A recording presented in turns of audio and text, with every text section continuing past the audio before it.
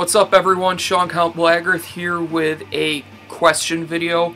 Uh, this was inspired by a reply to another question that YouTube user Sarah's Record Shelf made to someone else about offensive album covers.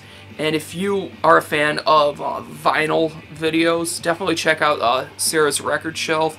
She is a big fan of death and black metals. She's Swedish. She's awesome. Link to her channel will be in the description. Go subscribe to her if you're into that sort of stuff. Very cool channel.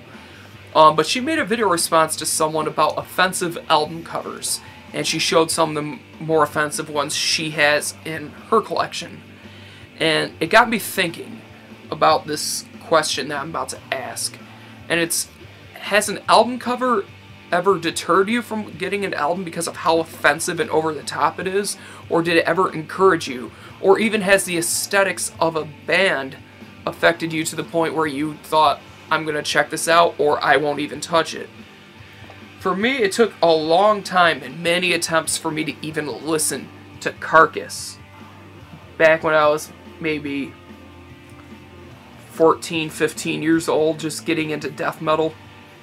Um, I found this album cover on Wikipedia, actually, and uh, I found out that they were real people. Those were autopsy photographs, and it just made me violently sick. And then there's just some really grotesque stuff in here, yeah. Um, but that really deterred me for a little while, but then it also sparked my interest and I kind of want to hear about this because it's something so extreme. I kind of want to check this out, see what it's all about, and maybe I'll like it. Um, it just kind of, it had a weird effect on me. I'm wondering if that's ever happened to any of you guys. Another good example is I grew up in a religious house, so I first heard of Mayhem. I was frightened uh, I didn't know what to expect at all. All I knew was these guys are crazy. There's, they've killed each other. There's people that have committed suicide and they took pictures. And I heard the rumor of the people eating brains and sending out skull necklaces and all this crap. And the aesthetic really drew me towards that just because I was curious to know what the music sounded like that what kind of music people like that could create, I guess you could say. Um, just really made me curious about that. And the same thing goes for Burzum when I found out about the acts that Varg committed. I was very curious to hear what kind of person could make music and what kind of music it could be and how good it could be. And as weird as that sounds, that's how I got into uh, like Burzum and Mayhem and black metal in general because if it wasn't for uh, actually the first song on this album, I wouldn't be into black metal as heavily as I am at this moment. But it's always made me wonder if other people have had that same, has experienced that same effect on them as in the album cover has, or the aesthetic of the band has either encouraged them to check out the band or deterred them from listening to the band. So that's my question to you guys. Uh, let me know in the comments below or leave me a video response.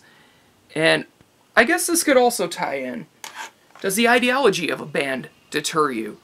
And I say that as in, here's a tape of an NSBM band from Russia called Raven Dark.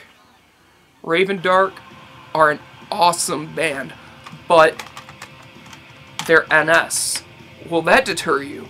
So does ideology, controversy, um, offensive album covers, or the aesthetic of a band ever deter you or encourage you to listen to music?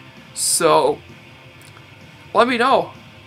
And I guess I should kind of answer about this. Does it encourage me to listen to the band? Absolutely not. Does it bother me? Eh, I don't know how I feel about it because I'm not racist, but I do like the music a lot. And to me, that at the end of the day, that's what matters, not what the artist believes. Um, I don't go looking for NSBM. If I find a band that's great and they happen to be NS, NSBM, it's just whatever to me. But let me know what you guys think about this whole thing, and uh, that's all I got to say. Thank you for watching, thank you for subscribing, and as always, keep it metal.